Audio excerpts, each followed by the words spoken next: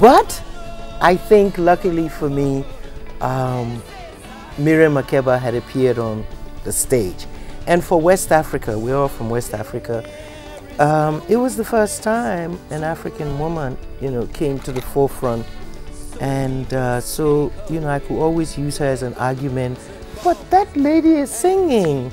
And uh, yes, but she's too much yeah, but with she's from South Africa. Oh, she's not one of us. she's not one of us. Okay, okay. But uh, I just I just kept steady, and I had a wonderful grandfather.